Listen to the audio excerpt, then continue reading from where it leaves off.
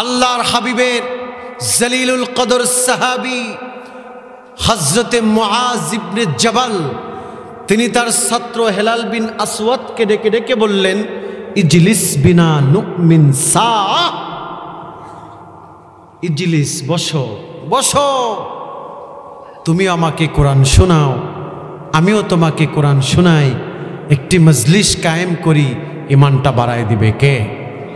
চিল্লায় বলেন কে? এই যুবকেরা একটি বাসেন না ইনশাআল্লাহ? আল্লামা বদরুদ্দিন আইনি রহমাতুল্লাহ। ওমদাতুল কারি শারহুসহিহিল বুখারিতে প্রথম খণ্ডে লিখেছেন।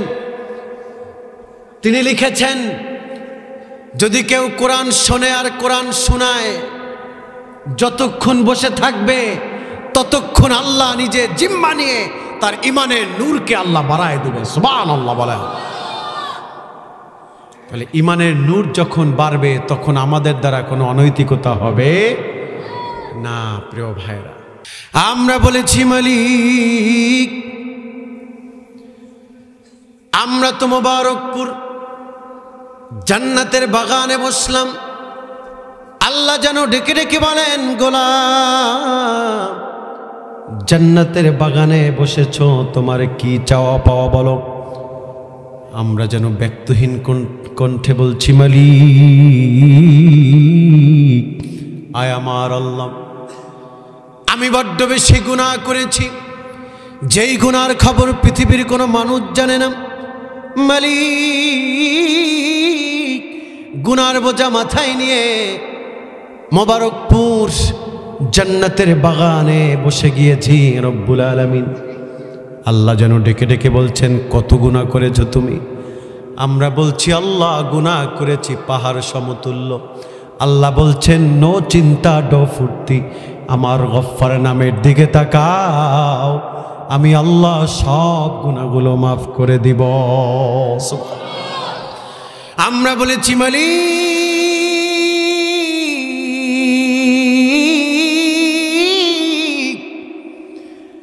গুণা তো করেছি, আমি অনেক বেশি, আল্লাহ বলেন, কত বেশি?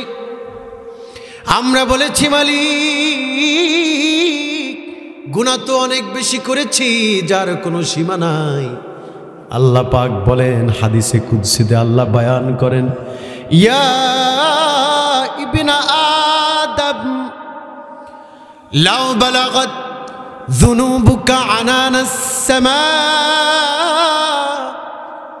ثم استغفرتني لغفرت لك ولا أبالي চিল্লায় একটু বলা যাবে কি আল্লাহ আকবার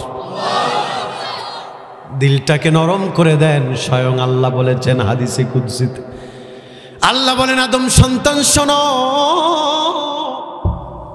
গুণা করতে করতে যদি তোমার গুণা গুণা করতে করতে যদি তোমার গুণা আকাশের মেঘমালা পর্যন্ত ছুঁয়ে যায় মনে রেখো আমি রব্বুল আলমিনের ক্ষমা হলো আরও সে আজিম পর্যন্ত।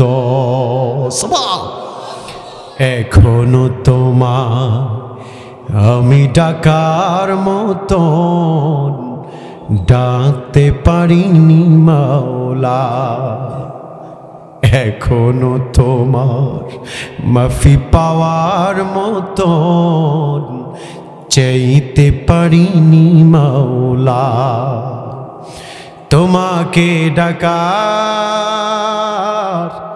পাপ কি মোছা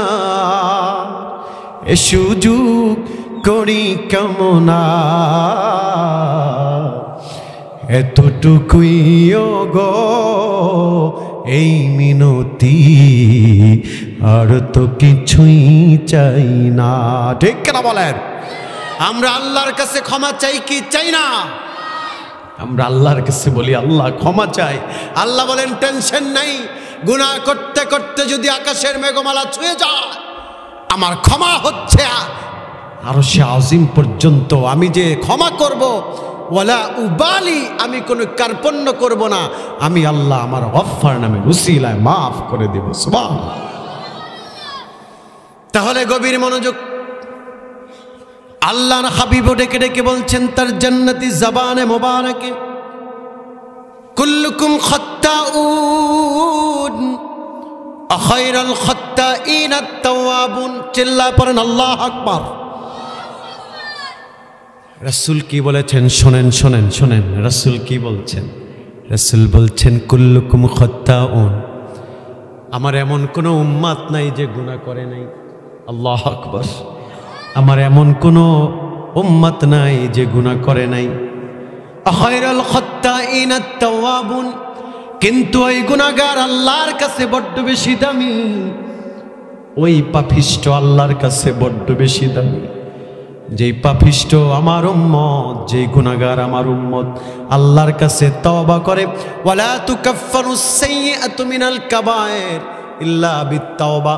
যদি কেউ এখলাসের সাথে তওবা করে, আল্লাহ পাক ওই গুনাহগার বান্দাকে আল্লাহ ভালোবাসেন। রাসূল বলেছেন, কথা মিথ্যা হবে? বাবা বলেন, না, মিথ্যা হবে। এটা কেমন রাসুল? তিনি হচ্ছেন সারে। তিনি হচ্ছেন শরীয়ত প্রণেতা। যিনি হা বললে হালাল হয় মুবারকপুরের মুসলমান কান খাড়া করে শুনুন। তিনি হচ্ছেন এমন রসুল যিনি হা বললে হালাল, যিনি না বললে হারাম, যিনি আঙুল দিয়া ইশারা করলে চার দ্বিখণ্ডিত হয়, যিনি পা উঁচু করলে মেরাতে চলে যায়। আল্লাহ এটা কেমন রসুল? আমার রসুলের দাম কেমন? তার জবানের কথা কখনোই মিথ্যা হতে পারে? রাসুল বসে আছেন